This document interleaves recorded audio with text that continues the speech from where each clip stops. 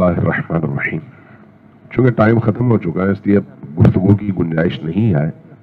میں صرف یہ ایک جملہ عرض کرنا چاہوں گا کہ جتنی بھی تجاویز آئی ہیں، ان تجاویز کو اگر ہمارے دوست احباب مرتب کر لیں، تو اس نتیجے پر پہنچیں گے کہ جہاں فلسطین کے ایشو کو زندہ رکھنے کے لیے اسلحے سے وہاں پر لڑنے کی ضرورت ہے، وہیں پر اپنے اپنے علاقوں میں فلسطین سے اظہار یکجہتی کے لیے ذہنوں کو بیدار رکھنے کی بھی ضرورت ہے۔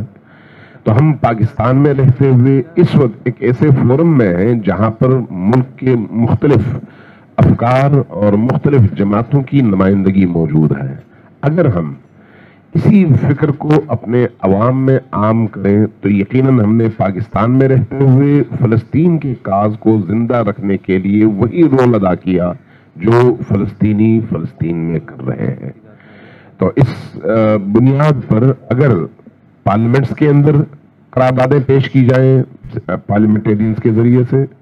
اور ساتھ میں مختلف جماعتیں قدس کے ایشو کو قومی ایشو کے طور پر منانا شروع کر دیں اور اس کے لیے آپس میں رابطے کریں اور کوئی ایسا فورم بنے جس میں ہر اس طرح کی جماعت جس کے اندر حریت موجود ہے اور آزادی کی فکر موجود ہے، اس کی نمائندگی ہو، تو یقینی طور پر جس طرح سے کشمیر کے ایشو کو زندہ رکھنے کی ضرورت ہے، اسی طرح سے فلسطین کے ایشو کو بھی زندہ رکھنے کی ضرورت ہے۔ اور دونوں ایشوز کو لے کر ہم مظلوم کی حمایت اور ظالم کی سرپکوبی کے لیے اپنا کردار ادا کر سکتے ہیں۔ اللہ تبارک و تعالی ہم سب کو توفیق عطا فرمائے۔